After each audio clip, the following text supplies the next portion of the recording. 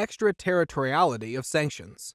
Extraterritoriality means the ability of a state to make, apply, and enforce laws, regulations, and rules of conduct concerning property, persons, or activity beyond its territory. The U.S. is the primary government applying extraterritoriality to its sanction regime. The European Union, or EU, believes that the practice of extraterritoriality violates international law. Thus, it does not allow for the concept of extraterritoriality concerning its sanctions restrictions. The EU describes extraterritorial sanctions as sanctions that non US citizens and companies are also expected to comply with outside the U.S. jurisdiction. These are also known as secondary sanctions instead of primary sanctions.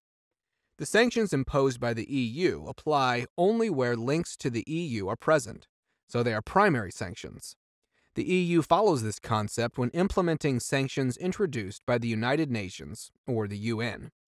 The purpose for the secondary sanctions stems from globalization weakening the impact of the primary sanctions as alternative finance and trade become more available.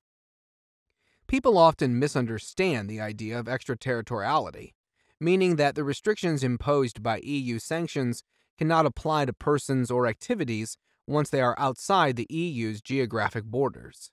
Restrictions imposed by the EU apply to all EU persons, wherever they are in the world. The broad scope of laws of the US affects people, property, and acts worldwide in attempting to protect EU based entities and individuals with commercial interest from its negative consequences, European policymakers have recently been exposed as more or less helpless. To pursue the strategic objectives effectively, Europeans must focus on more than just increasing strategic autonomy from the U.S. government. In the absence of a diplomatic agreement with the executive branch, they must also use existing channels of influence better.